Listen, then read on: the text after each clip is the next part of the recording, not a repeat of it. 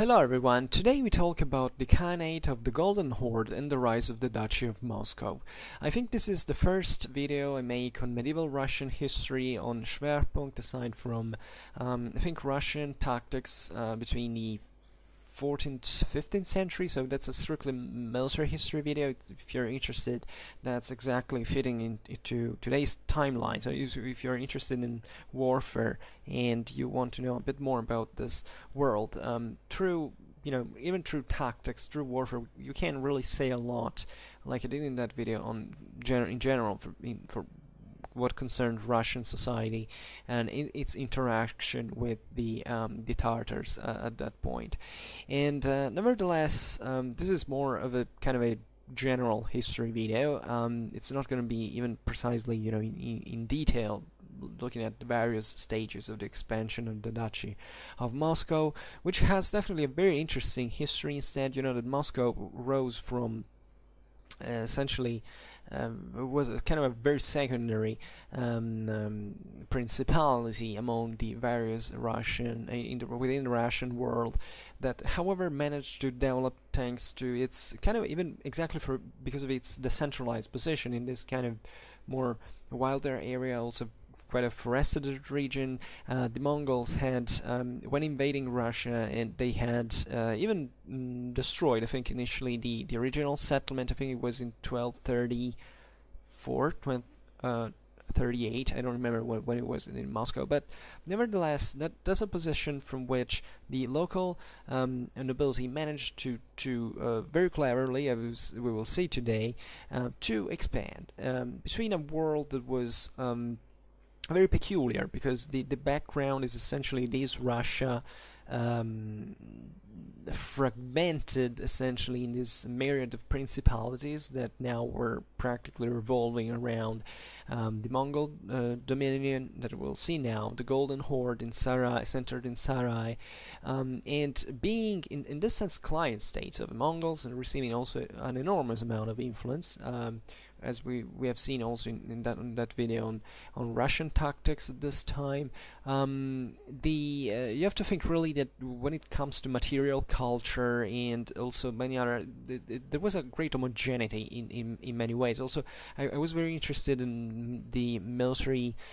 Um, uh, especially the military equipment, uh, not because I, I know much about it, but because I believe that the Russians at that time, um, in their iconographic sources, were sticking sometimes to certain ideal models that were continuing a tradition of um, Byzantine iconography. Uh, the um, the Russians at this time were still in in contact with uh, the Eastern Roman Empire, although they uh, objectively, uh, you know, at this point the, the, empire was kind of declining. It's we're today we're going to discuss essentially from the uh, from the 13th uh, up to the 15th century. So a moment in which naturally Constantinople had been conquered by the Crusaders, were with, with great difficulty reconquered by the Palaiologoi dynasty. So a moment in which definitely it was not like back in the day the 9th 10th century when the Russians were um, uh, you know uh, so strictly and directly in contact with the Byzantines initially you know fighting against them then eventually becoming their allies um, the um, the same fragmentation of Russia and, and the decline of the Byzantine Empire are these kind of uh, evident elements uh, surely also under the mm, the uh, the Kievan Rus. Um, so in this moment in which um, the Principality of Kiev um, eh, had this you know greater influence on the Russian world. This was still fragmented. It was essentially a cluster of principalities, but um, this system was kind of also more. Um, uh, I can't say necessarily more inter intertwined than it would be in these later times, but at, at least uh, at least up to the moment in which the Principality of Kiev was kind of fit and in shape from a political social point of view. That these were you know mm, this was a, an entity that had a also wide range um, uh, influence. You know after all these guys had managed uh, kind of out of the blue to, to, to assemble a fleet to go assault Constantinople.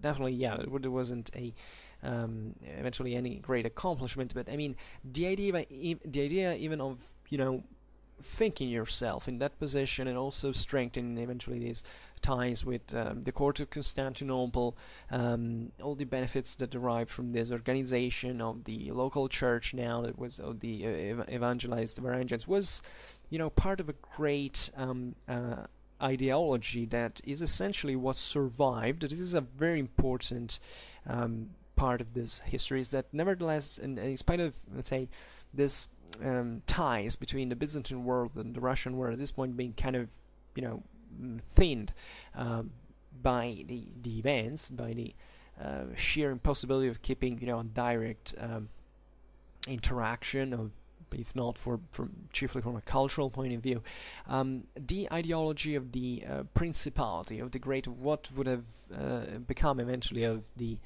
um, with the Grand Duchy of the as the uh, the sovereign the sovereign of all the Rus. Mm?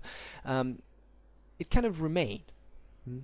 So this idea, this Eastern Slavic land of the Rus, um, um, was not forgotten as such. Uh, doesn't matter how much these lands had. Um, uh, the, the, had been fragmented, how also feudalism kind of increased because Kiev had managed uh, initially to create a statile entity that was re very remarkable considering the times and spaces uh, at the time. Um, and this had all fragmented. It was, uh, however, always the ideal that had to be a sort of sovereign uh, ruler of the Rus. That the Rus were uh, an entity that with, with a history, with a tradition, uh, um, and that theoretically this had to be ruled by a unique ruler. And definitely back in the day, previous to the Mongol conquest, nobody would have even imagined that it would have been that that settlement there lost in the forest in, in the northeast of Moscow that would have rise to this uh, point. But this is also I would say, yeah, the paths of history and how these things happen, and um, there is always a reason that that's why we study history because we want really to understand how how it developed. Um, what I was saying before is, excuse me, I, I digressed once again. Is that I was inter interested, especially in uh, in in the Russian. Uh, military equipment because seemingly the, the Russians at this time were sticking still to the Byzantine models, these heroic, especially warrior saints, pictures that were highly uh, classical in look, very, you know, in this sense, very fictional in, in many ways. And instead, what it's beautiful to stress, in my opinion, at this point, these Russian principalities was nothing but, you know, the the at the at the uh, client states. Uh, um, buffer states at a uh, at the outskirts of a huge Mongolian empire that uh, osmotically influenced enormously these centers. Um, it would have been relatively difficult to distinguish uh, also certain characteristics between the two. Um, the the Russians at this point have this mm, great acceleration also in, in warfare towards something that is almost the identical copy of the, the Mongol armies in a way, also in tactics. Think about this time, also the Battle of Kulikovo that gave this this mythical battle that was um, you know showing essentially the Russians, giving them the the hope of um, um, being uh, kind of a autonomous population, a free population from the you know shaking off the Tatar uh, yoke at this point, and was carried out by tactics were extremely similar to the Mongol ones. So um, this is a very interesting, in my opinion, overlooked um, historical setting that uh, I also would like to know more, kind of to to to um, express it better. Today, as we were saying before, uh, I will keep it simple. I will not look at the you know step by step the stages of the um, Muscovite expansion, um, but we're going to look at the essentials to to to to really give an idea of what, especially the relation between the um, the Russian princes, not just the Muscovite ones, actually, what were with the Golden Horde and how eventually this area was, you know, kind of transformed and set in motion chiefly by the rise of the uh, Duchy of of um, of Moscow. So, first of all, a, a, bit of a geographical picture of this thing. You know, the the the, the Khanate of the Golden Horde. So it, it was called like this. So it was this, um, let's say, kind of successor state of the, the Mongol Empire, where the, the, the, empire had basically split into these various khanates. Uh, this was something huge. Mm, if you look at on the map, um, Europe bordered with this enormous um, center um, of the Golden uh, the, this um, enormous empire of the Golden Horde. Uh, Whose capital was centered in Sarai, mm, on the low Volga, and that covered basically uh, almost of all the territories um, north of the Black and the Caspian Seas, the region of the Urals, Kazakhstan, and also a great part of the western Siberian um, uh, plains. And so this you, you, you imagine naturally these were regions that were kind of very um, they were not ex extremely developed. I mean, these centers were there were these major centers, especially Sarai on the Volga. They, were usually trade centers that had developed around it, these great Russian rivers, um, and and that uh, really were living in, in this world was a bit halfway between you know the militarized world and the uh, the steppe, one on the step. Um, naturally, Russia and the um, the Russians, in fact, this this uh, the Slavic population inhabited mostly the uh, the region of the forests, mm. um, whereas the uh, historically speaking, the steppes had in the south had always been more, you know, um, uh, you know, wiped by these. Uh, these populations of nomadic, nomadic populations kind of uh, strolling um, the uh, Eurasian steppes, and and uh, from which the, the Mongols, in fact, had come and seized. Uh, the centers, so it was a very interesting world, also because it was not at all isolated. It was a very dynamic world. Um, it was full of Western merchants at this point. Um, the these great rivers were really a kind of major highways of the trade of the time. Uh, the Russian uh, timber um, uh, and uh, amber and and furs and, and, all were were all you know kind of part of the um, of the Western trade uh, that, kind of arrived up to the west. You know, in the Black Sea, there were we've seen it recently with the Italian maritime republics. There were Genoese colonies. These uh, exported the goods um, eventually into Western Europe. Um, there was also a great connection with other markets of the Middle East, and some of them reached up to to China definitely. So um, these were lands that had a, a, actually a great potential in terms of um, sheer amount of um, uh, of uh, raw uh, material uh, in in practice, and it was and, and Russia since this very early age kind of begins to um, to to be a, a, very important for these very international scale exports you know, in the Ukrainian uh, grain is something that was exported at this point extensively also in the West towards late Middle Ages and beyond. You know, the you know the Russian grain was exported as far as um, as uh, as uh, the Iberian Peninsula. There was also this trade that basically um, crossed the, the, the Baltic Sea and then the North Sea, from, you know, and involved England,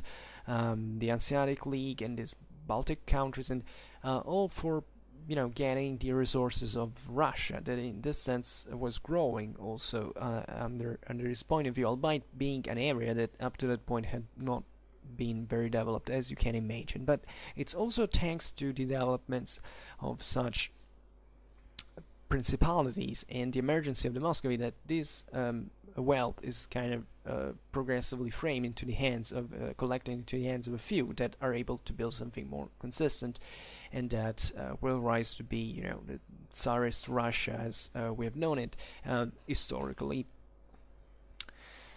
Um,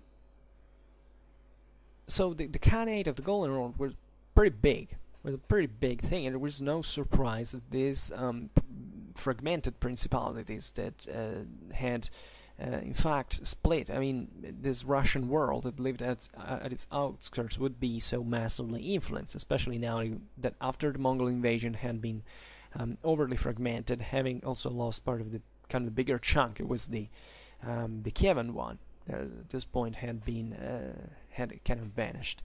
Um, so now, naturally, the balance of power was being shifted also towards these other small centers, and in many ways, also from a cultural point of view, the, the problem of the centrality of the or, or, uh, of the Russian Church now was also pretty pretty important. We'll see how the Church was um, uh, also very instrumental for the development of the Duchy of Muscovy, and it was strangely also pretty much, you know, not so much perhaps, uh, also um, kind of um, tolerated, if not favored, by the Golden Horde as uh, as an institution in these. Um, in these Russian principalities, into which naturally the, the Tatars intervened, as we will see now. So, from the mid 13th century, the uh, Mongol hegemony um, I'd say Mongol, you know, the Mongols of the Golden Horde are also called as Tatars, mm, or Tartars, as you want to call it. Um, so the, the, the, Mongol, the Mongol hegemony was possible, um, you know, was, was practically carried out through the control of these Russian princes. Mm. Every Russian prince at this point had to personally uh, respond to the uh, Khan of Sarai of his of his own uh, political activity and of the men that were under him. As this was a feudal system, so he was not just aware of you know uh, swearing not of allegiance as it was done. You also had to check you know that your um, you know that your vassals behaved and didn't uh, interfere also with the Tatar affairs. This is kind of interesting because there's many times in history when there is a, a major empire that controls these fragmented areas, there is always the, the, cent- politically fragmented areas, there is always the tendency to, um, for, from this great empire, to kind of find more privileged interlocutors in this situation and partially to, to strengthen them. Mm. The same Duchy of Moscow arose um, mostly thanks to the cooperation with the Mongols that gave them, as we'll see now, also many privileges and power to, you know, to be the favorite uh, referentiaries, we can say, in this otherwise very um, difficultly controllable world. Mm. Um, so the uh, the the say divide et impera is not always true because certain um, more fragmented political entities can be more difficultly uh, controlled if if they are so uh, divided, and and you need sometimes something bigger that can control better the situation. So this really depends on on on, on the particular context, and every one of these um, Russian princes. Just to make you understand how tied and dependent they were from the Khanate of the Golden Horde, basically had to receive a written uh, recognition of his own lordship from the court of Sarai. Hmm? So this um, this Russian principality is basically, um, from at least from a Mongol perspective, existed because of the will of the of the Khan. Hmm? So these were not free; they, they, were technically dependent on it, and he could move uh, also war against them naturally as you can. Imagine or maybe just as it happened several times to, to send other to legitimate other Russian principalities to assault you know the, the, the rebel in in in this way. Um, so from from a local there was also a, lo a local control hmm? the Tatar uh, supremacy at a local level was um, expressed, um, um, especially at, the political and military level, um, by um, sending essentially a um, Khan's uh, lieutenant with a with an army on its own, with a contingent on its own, and uh, exercising a right of military levy on the Russian populations. Mm.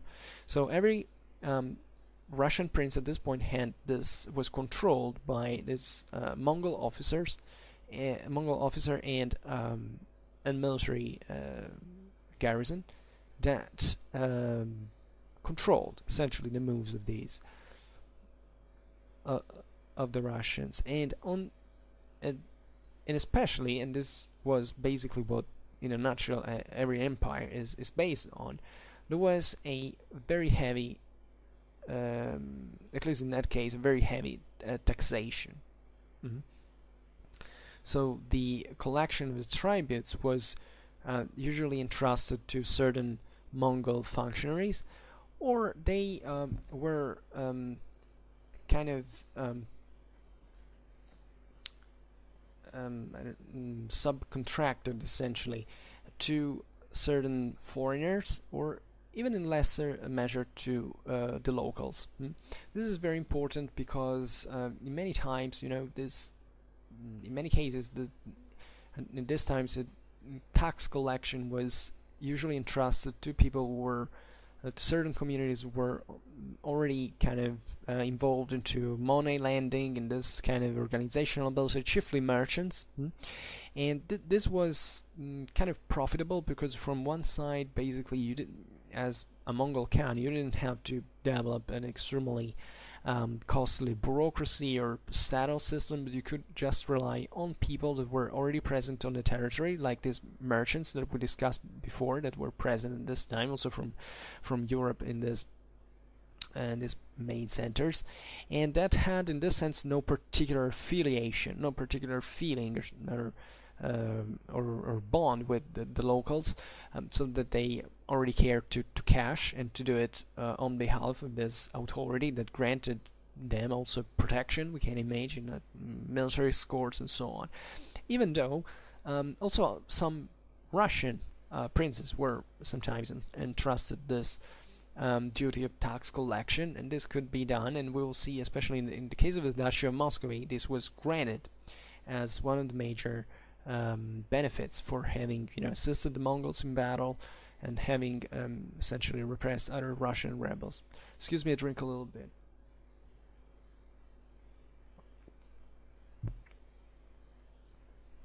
And as you can imagine, it was also very strong political and military interaction of the Mongols with the Russians, meaning that the Russians fought uh, together and for the Mongols also. And this is not a matter of you say you know from one side there were the Russians, from one side there were the Tatars. Also because even though the Golden Khanate was pretty you know consistent also as as an entity, it, it wasn't so directly centralized. In fact, when we talk about the Khanate of the Golden Horde, we it's not that these were actually all the Mongols. These were kind of foreign rulers coming from Mongolia, in fact, on certain nomadic populations that inhabited those areas of the steppes that were now framed into this Mongol Empire, but were also kind of tribes on their own.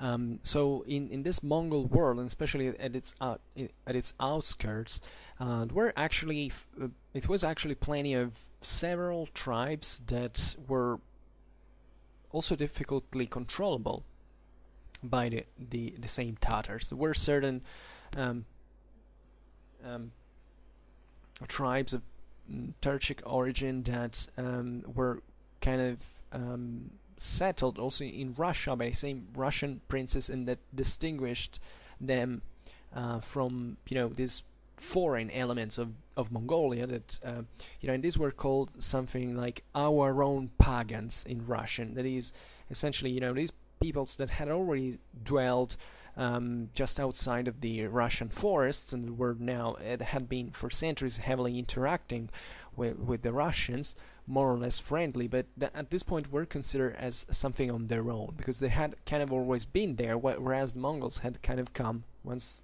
uh, in a day literally out of the uh, of, of, of the blue of this and and uh, having imposed this massive system that however uh, also was not ex excessively centralized. And at the same time, obviously, the Russian world was not centralized at all. Um, on the contrary, the the Mongol invasion had. Um, I've discussed actually now remember that I've discussed these things pretty extensively in that um, on that video made on Russian tactics during the 14th to 15th century. There is this very strong increase. you see it from from warfare. This very strong increase of feudalism the uh, the Kievan Rus had kind of tried to stem partially also the emergence of very powerful dynasties in this area. Now there was no central rule, or if not, this you know kind of um, very strong influence from the Khanate, and the the various lords, the various Russian princes had kind of um, increased very much their authority over the uh, traditional organization levies uh, of the uh, of the militia, for instance, that up to a certain point had been very important, as uh, the the Kievan Rus back in the day um, meant as a period, not just as the, the, the Principality of Kiev, but also in the rest of Russia, had seen a also decent, um, you know, consistent development of um, kind of middle classes, so merchants um, and um, also here these classes, these centers that formed uh, uh, along these major uh, waterways of the Russian um, of the Russian plains that were extremely profitable for trade and so on. Now it's as if with the Mongol invasion there was a sort of um, very strong feudalization. Mm. Um, there had indeed been a, a, very strong economical crisis uh, followed the the Mongol invasion. I mean, there were many, there had been many destructions. So um, it's as if uh, this is something that happens often historically speaking, sometimes in, a, in less traumatic, less sudden ways. But let's say it's as if all the the the middle classes had impoverished and they had necessarily sought the protection of these major leaders that were framed in fact within a hierarchy that was ideally within the same Khanate of the Golden Horde that had a very strong hierarchical um, ideal from you know from the imperial uh, models of the Mongols for which there is this kind of even kind of uh, I can say monotheistic um, authority. But I mean the idea that also in the organization there is this decimal base from which uh, at the top there is the greater Canada also has certain divine meanings. So um, it, it had been the same Mongols that had favored, as we have seen, the rise of certain dynasties to control better such areas of the of, Russia. Um, so a, a, great social change. You know, the, the, the, the, Mongol invasion in, in Russia has been definitely a very traumatic event. It's really reversed the tides in, uh, in many many ways. It was traumatic also for other countries were surrounding. Um, uh, again, I don't know for, for Poland, for for Hungary, but Russia was the one that, in this sense, was framed also within the Khanate itself and absorbed the, most from it. Under so many, so many points of view. Um, so once again I realized I hadn't finished the point before about the Russian equipment. I want, I want to say is that probably even the Russian army at this point looked uh, something extremely close to the to the Mongol one in terms of equipment and so on, in spite of what iconography show us. Iconography of these Russian icons and you know and many other um, sources shows us this still kind of Roman-like classical like um, models of Byzantine uh, derivation. But um, if we had seen, I don't know, the, the Russian army at Kulikovo, you might have seen how it was remarkably close in look um, to to a Mongol one, and also the same tag. You, you realize it from the composition, really. If anything, because it was plenty of Mongols also in the Russian armies by themselves, and there were many also Mongol, um, I would say better Tatar chieftains that also passed, um, you know, to, to become eventually with the rise of these certain principalities, sometimes within the, uh, the, the domination of this principality eventually. And there were there was also the integration part of Tatar nobility. A certain Russian nobility at one point was practically uh, descended from certain Mongol chieftains that had been integrated because there was a sheer matter of you know uh, of including these um, elements to, to grow stronger in the military and polygraphy. And it was all about this. I mean there is a sometimes in history is this is also typical of Europe in many ways but it can be seen in here that um, mm, it's beautiful I mean in, we in our modern view we have mm, the idea that the big empire that is all homogeneous, all kind of a unitary thing is kind of the best thing because it's allegedly easier to control, everything is fine. But uh, I tell you the truth, many times in history, a great development um, also in civilization, stemmed exactly from these fragmented situations because it's as if a, a larger state, a bigger empire, kind of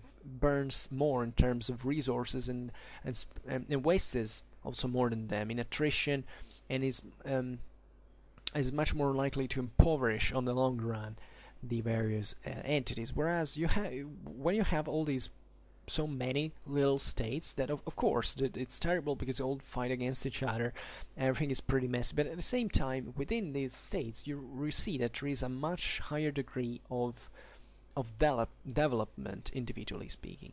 Just think of what it meant to live in in 14th or 15th century Russia among all these various principalities and all the vari- uh, all the uh, need um, you had for essentially just think about diplomacy.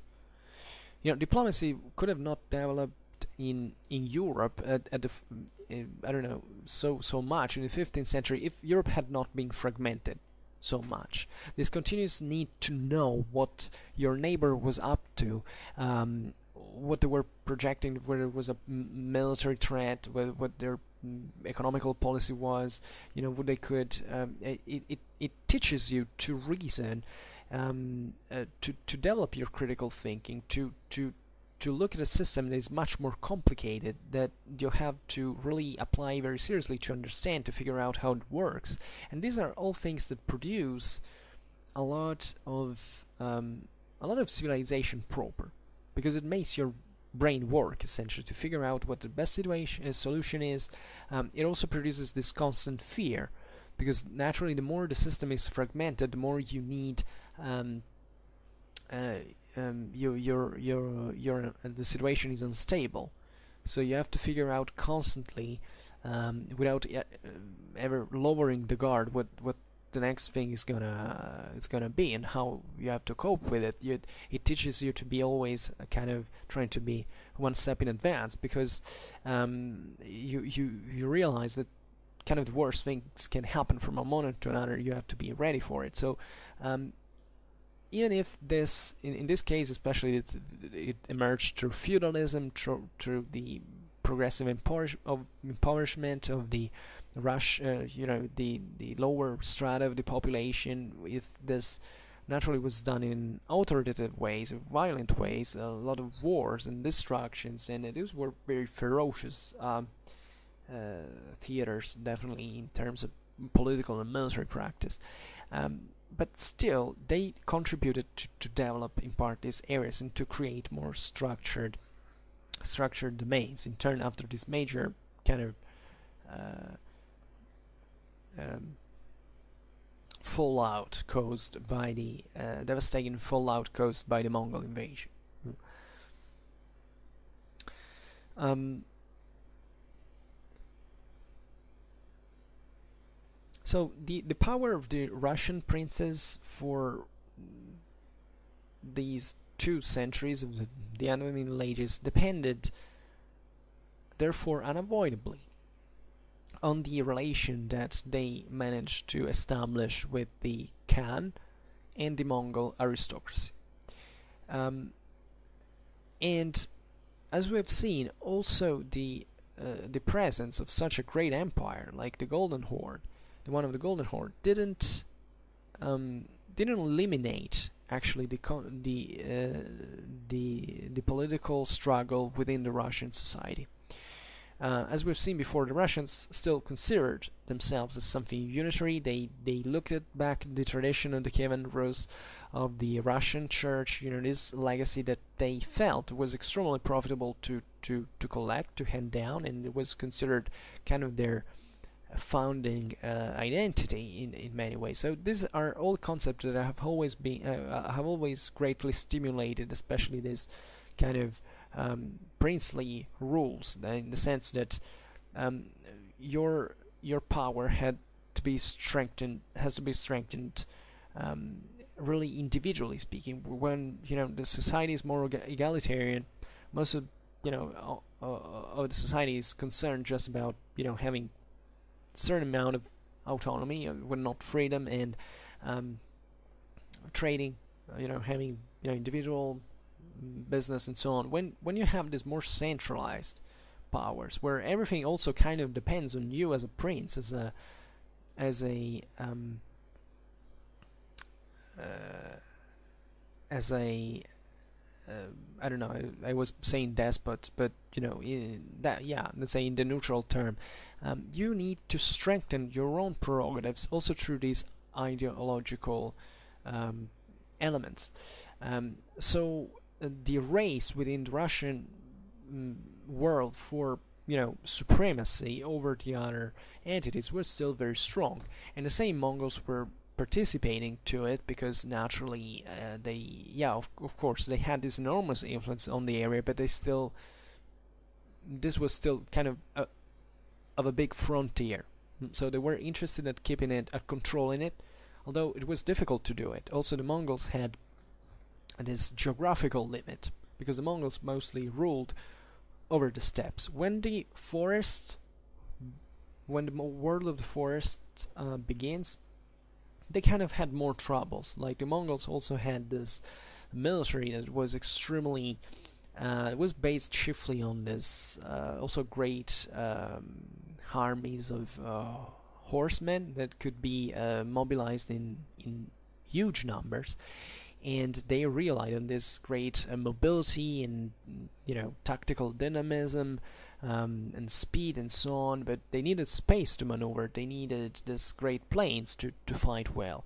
When the World of the Forest began, hmm, they were kind of more cautious, more careful. They the, the Mongols had conquered Russia, um, but they had done it, you know, mostly in the open grounds, on the open plains, the regions of the great rivers. They had invaded Russian winter, essentially also to to pass through these frozen rivers because otherwise the you know Russia is only in spring when it, the ice melts is kind of a mess it gets marshy and we all know uh, how, what the hell it is. But the sheer word of the forest is kind of something the Mongols remain a bit out of which. And that's where the Russians kind of stuck in and kind of defended with their with all their means.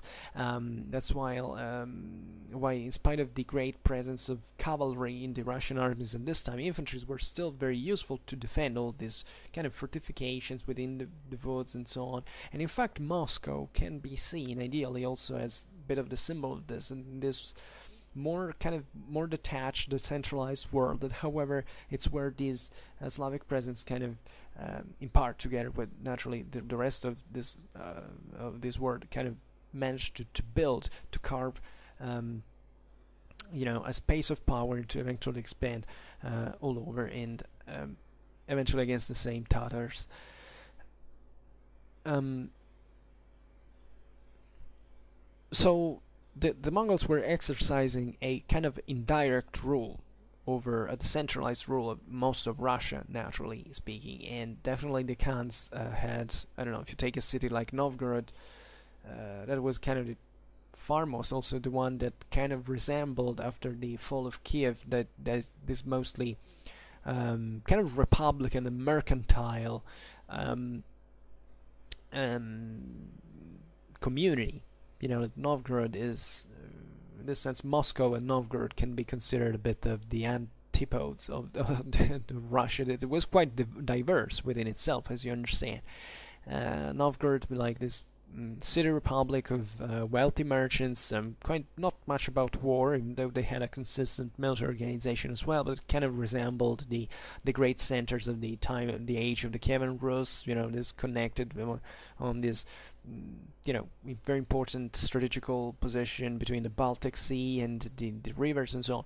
Moscow instead, the sheer, you know, land, terrestrial power based on principality, on the lordship, on this um, feudal mindset that eventually emerged as victorious as um, that was at that point the uh, really how the Russia was developing and and also a city like Novgorod kind of was developing uh, excuse me was declining fast. In many ways was not considered much good also for terms of military um, uh, military uh, effectiveness also by foreign sources. That may can be a stereotype actually. We shouldn't um, a prejudice I mean you should have to look at, at it in detail. But um, the, the military um,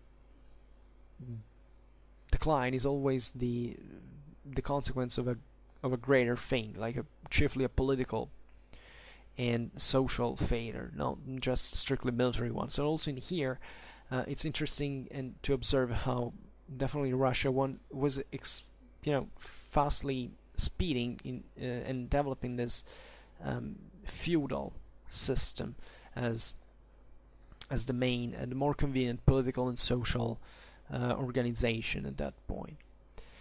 Um, or at least there were those classes like the, the, the, nobility that had in that moment the means, the, the conditions for expanding unopposed their, their power in, in that form.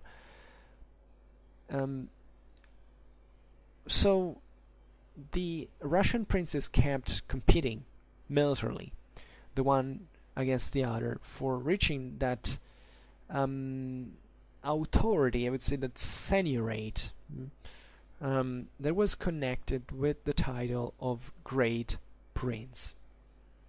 So this title of Great Prince uh, was connected originally to whoever um, possessed Kiev mm, as the most important center of Russia at the time. But that after the um, the Mongol uh, uh, during the Mongol domination, the princes at this point were kind of uh, trying to to to have it recognized for uh, to them from the Of Sarai. Mm. Um, so this this also happens all the time. I mean, the idea that when there is a sovereign authority, doesn't matter if it is, you know, how ambiguous it can be. I mean, naturally, the the great prince title in in Kievan times was recognized as a very particular thing that now was also, you know, you know, when recognized by the Khanate of the Golden Horde was also changed in, in, in many in many ways, ideally speaking. Um, but that's the point, you know.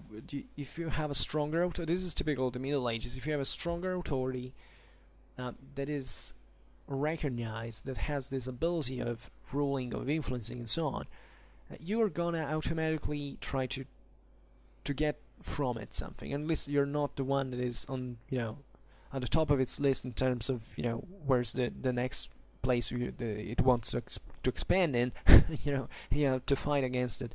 But everybody kind of tries to, to get also to participate a little bit to that power and to, to be recognized certain titles for their own their own benefit.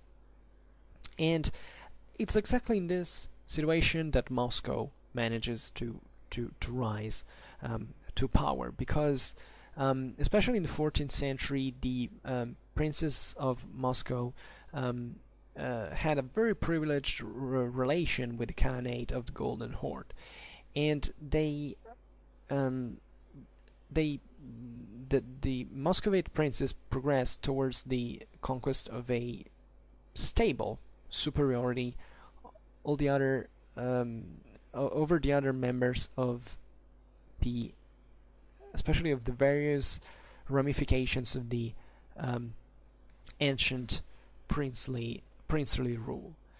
Um, this is very important because the,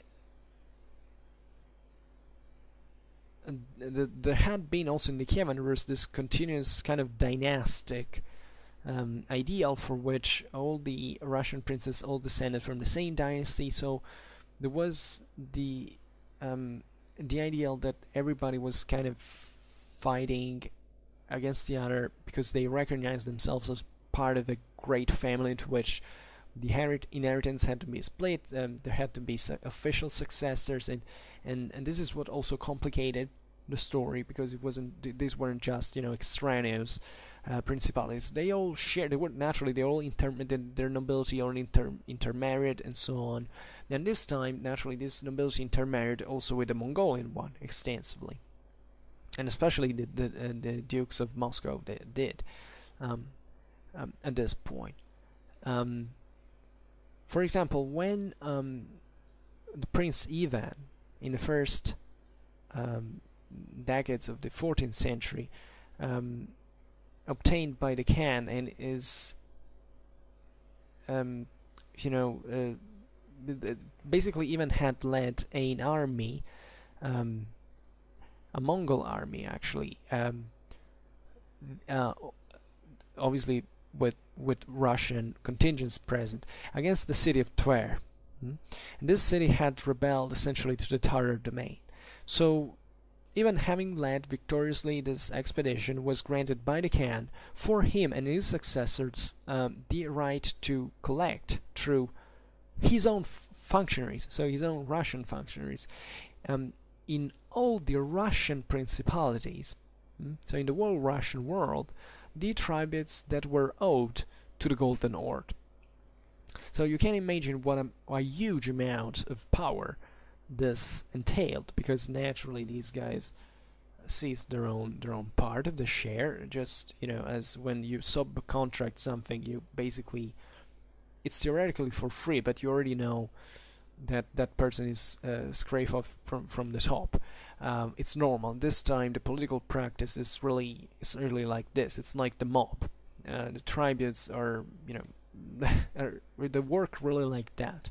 Um, but just think of what it meant um, to collect, in fact, this uh, share from the various, um, you know, from from the uh, from the whole Russian from from all the princes. Naturally, this was all initially kind of theoretical, but you know, tributes at this point were kind of the um, main way to to interact between these powers. I mean, the political thermometer was measured on the basis of how many tributes you, you, you paid and was recognized by um, superior, superior and so on. And this was also for the sake of protection. I mean, you pay tribute to someone not just because you you are subdued by it, but also to receive um, uh, to receive aid against eventual enemies. So it, it, it's as if it was a great clienterly society as a whole. Hmm? But in the case of Ivan, that was pretty pretty uh, pretty evident. I mean, uh, was a very uh, important moment. Uh, even um, had was essentially that the the the sovereign that enabled the Duchy of Muscovy towards this uh, regional scale ascendancy. Mm. And Tver, the city, northern city of Tver, had been in fact the, the major rival of Moscow, and and that's how you see that basically you know the the, the being backed by the Mongols seize uh, re repressed Tver and they uh, they managed to get this um, these privileges in return. So it's not that the Mongols were kind of just gifting them with design; they were rewarding them for a service they'd done for them, and that was very important because if they had not done it, probably they would have lost the special connection with the Muscovy, um, uh, with with Moscow, and so on. So it was a very delicate balance, naturally, as you can imagine. It's never, it's rarely uh, in history. It happens very rarely to to have a situation for which there is a power that literally does what what what as it pleases it. And there is always this kind of balance that has to be maintained. The Tatars were evidently quite interested at this point of signing with Muscovy, and uh, and then they uh, kind of um, um, you know, eventually the, the, the, the situation was reversed in many ways. But and this is the point that the great strength of Moscow was found at, at this point, as Ivan was the uh, Ivan first was reputed to be the, the, richest and most powerful individual in Russia at this point. In fact, the, he was um, nicknamed like the Kalita, which means literally the money bag. so he was full of money. Also considering a very kind of poor world uh, in many ways. So this wealth was uh, really felt also as a uh, as a booster for for further um, expansion. In fact, uh, it's under Ivan that this uh, huge treasure is um, is used. Um, to finance the construction of stone churches in the Moscow Kremlin, among other things, but this also extended beyond the same uh, Moscow's territory as um, even purchased. Uh, so mm, without even the needing of, of, of, making war for it, other lands in other principalities. Mm-hmm. Imagine also how you know fragmented the system was, how you know complicated, how, how much you could play uh, at so many levels on these um, political hierarchies. You know, all the various vassals you could win over from someone else. You know, um, this is uh, what feudal Europe in in many ways uh, really really was in in political practice.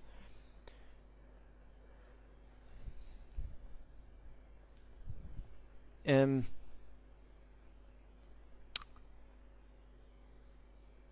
um, the same happened, for instance, instead under Basil uh, or Vasily, actually the the second, that uh, ruled later times from uh, I think Vasily II if it was from 1425 uh, to 1462, so we're in the 15th century. But that's nevertheless very important because um, um, in here, naturally, Moscow has already pretty much expanded, and it's at this point that um, uh, an ever greater um, number of members of the Mongol uh, Mongol aristocracy um, instead put themselves at the service of the Muscovite prince. Mm.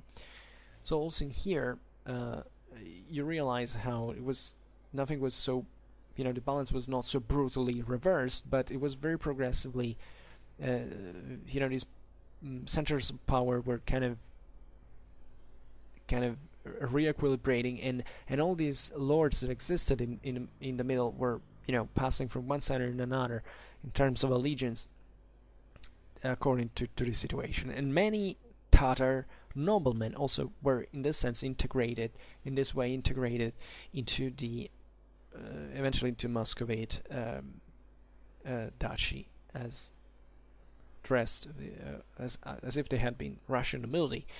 Um, together with them, and however, as we have seen, heavily mixing also in marriage and so on, because this was perfectly normal.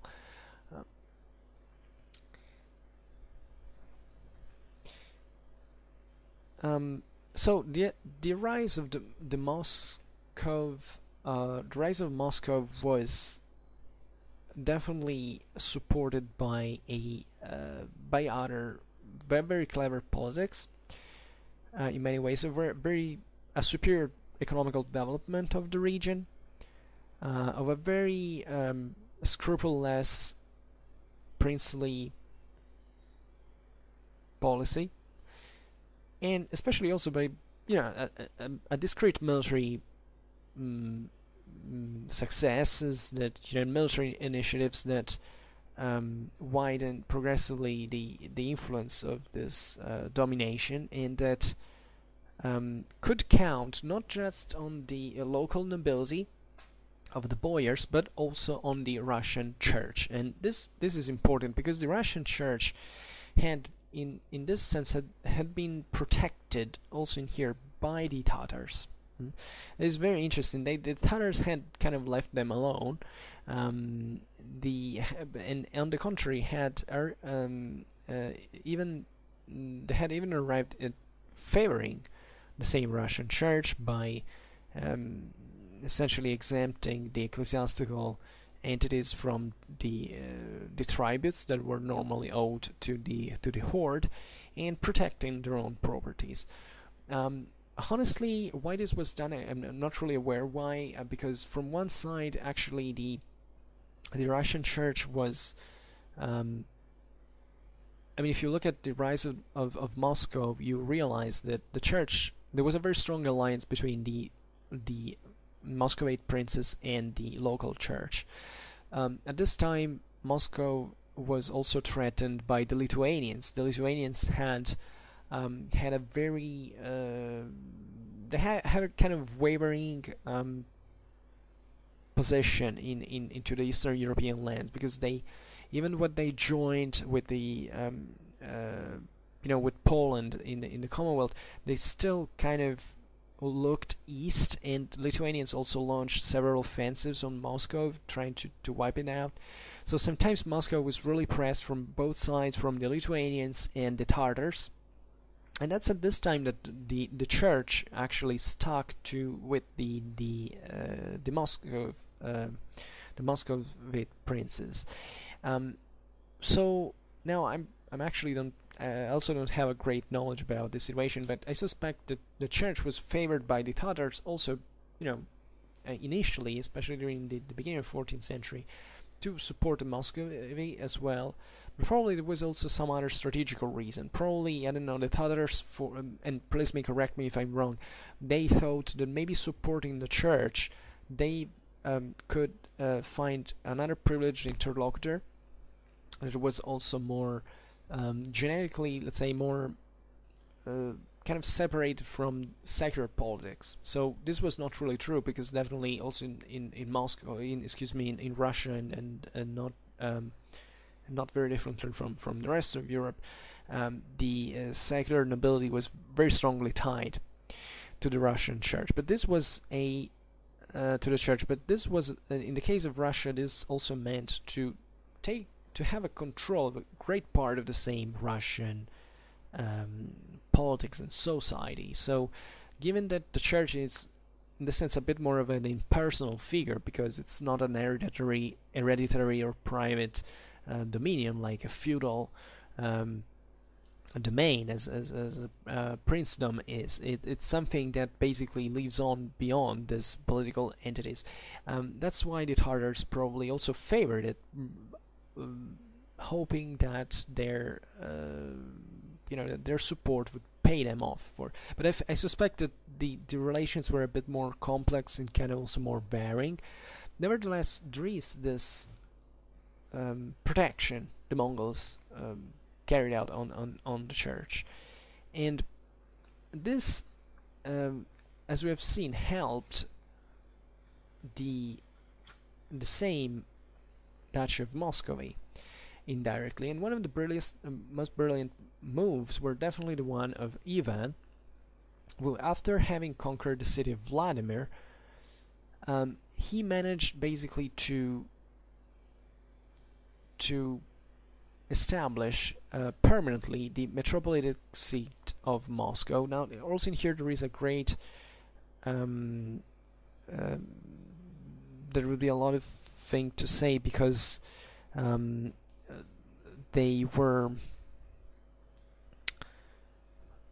there were many um, also the Lithuanians at a certain point tried to subtract the uh, metropolitic seat from Moscow, from some from the mm, Russian church. So also here it's a very complicated game. But the important th thing here with the conquest of Vladimir is that this city had been the place where the um, metropolitan of Kiev had uh, transferred, uh, transferred in in uh, had shifted basically the, the, center of the of the Russian Church. Mm. So controlling this territory really equated to have a uh, a, a, um, a, very great um,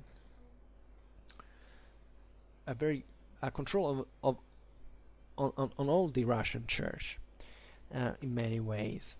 Um, and in fact, in, in the mid-century, the, the unification uh, also of, um, of the Duchy of Moscow with, with the one of Vladimir brought to the uh, to also to the fusion of the Muscovite title with as um, Duke of Vladimir and Moscow.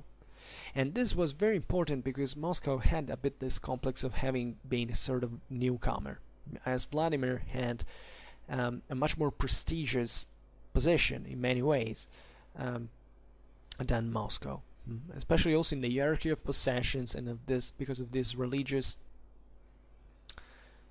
um, this religious uh, importance was definitely a uh, a very uh, profitable um, area to control for Moscow to eventually expand in, in the rest of Russia.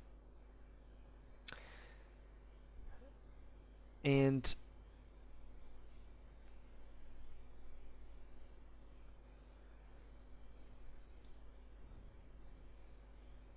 and importantly enough, the, the Grand Duchy of Vladimir was recognized as an hereditary possession of, of the Moscow princes as well. Mm, here, the hereditarity of such uh, domains was very, very important in as um, these principalities were developing their control as as a very strongly personal possessions. It wasn't like um, in the past where there was this idea of greater, you know, kind of more public ideal. Um, and the, now the, the, the, possessions want to be full and exclusive. And and the episode of Vladimir was definitely one of the most important moments in, in the rise of the Muscovy in the mid 14th century. So Moscow, through this, in fact, inherited the the uh, the legacy of the ecclesiastical and spiritual um, su uh, supremacy of Kiev, mm -hmm. and this is also what gave Moscow such a great authority because this is the indirectly through this um, now new dynastic possession the the Muscovite princes could represent a sort of point of reference as the unitary um, religious centers of the whole Russia. Mm -hmm. And this was very deeply felt because, as we've seen, Russia was kind of being distanced from the Byzantine Empire enough to start claiming something more on its own, also from a religious point of view. Um, the, uh, the, the connections with Constantinople were still pretty much alive, but naturally the, the Byzantine Empire at this point was declining pretty uh, rapidly, um, and and and also was facing a major crisis also with the Ottoman advance. Um, because essentially the especially the Byzantine emperors very differently from the rest of the populations were trying to save um, the empire by uh, kind of promising the uh, the Roman Church to proceed for a um, essentially a reconciliation or a reunification of the two churches after the sh uh, schism of the 11th century. So all these measures, naturally, in, these were not uh, basically uh, this were this was a mostly political, an immediately political move because uh, the same Byzantine emperors knew perfectly that you know the uh, they were just obliged by the situation to search in help for help in, in the West, um, and granting this uh, Roman primacy over over the Church at that point, and this is also what why certain Byzantines eventually preferred even the Ottoman Muslim, the Muslim Ottoman rule, to the to the Western one because they preferred at least we remain uh, Christian under the Muslims in, in our Orthodox way. And and all this um, swinging was um, eventually this didn't serve because actually the reconciliation happened at the very end, um, but kind of was purely purely formal thing now, and and and the Russians were kind of observing this from their own more or less remote perspective. Um, and they saw that as a uh, general decline for which you know the the Constantinopolitan Church was basically couldn't be at that point in the, the center anymore of the Orthodox world, um, or at least they had to uh, basically um, claim um, also superiority um, on its own. And and this there, there was this progressive detachment of the metropolitan of Moscow from the Byzantine Patriarch, mm. and this is what gave origin uh, to the um, to the essentially to the create you know how important it is in in uh, as being in, in, Russian history this idea of being uh, kind of a even a center of, of, of the church as such not just a merely you know national element. As not, at the time the concept of nationalism wasn't there in the way we, we mean it but at least this uh, Russia just say ethnical or linguistic or culture, as you want to call it, a Russian identity, but also the idea of being the the, cent- uh, of a sa- uh, the center of a sacred authority based on this mm, Russian, uh, this Muscovite dynasty. Um, and it is um, in 1459 that the Russian church becomes uh, autocephalous. Mm. So it basically claimed um, the, um, according to the, Byzant- the same Byzantine tradition, that the um, the, the metropolite at this time was um, confirmed by the great um, great prince of Moscow. So essentially repeating this control that in the Byzantine Empire had existed from the secular authority on the uh, ecclesiastical one.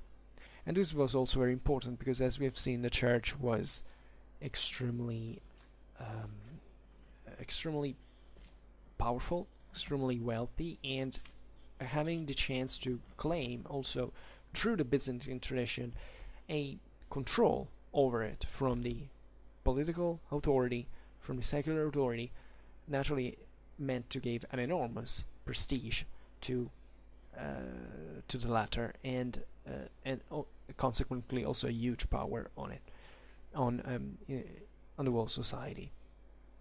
And okay, so I don't know what I could add. There are actually so many things I could add. This was actually a very brief video compared to to the usual, but I think it's uh, it was just to give a an idea, more or less, of what I I, I wanted to say. Uh, there are many events. There is the Great Feudal War in the 15th century. I mean, also the Battle of Kulikovo before in 1380. So many events. But today, I don't want to make a kind of an event- evenemential history. It was just to look at, broadly speaking, at this at this system, how it started, what were the basic elements that brought to to the rise of the Duchy of Moscow, and this uh, set of relations also with the external, the outer, and the internal world. So for now, I'm just stopping here. I, I, will definitely keep talking about these topics sooner or later. With, uh, with maybe we will make another video in which we'll see more in detail the, the phases of the expansion of the Duchy of Moscow towards the, um, I mean, the, the thresholds of the modern age in these last centuries of the Middle Ages, um, and also we'll keep talking about especially Russian, medieval Russian uh, military medieval Russian warfare, say, uh, together with the ones of the, the the, the rest of the European countries. So for now, I just um, hope that you enjoyed this video. If you did, please share it. Otherwise, leave a like or subscribe to my channel if you are interested to my uh, to my upcoming contents. And for now, I thank you heartily for listening to me. I wish you a nice time and see you next time. Bye.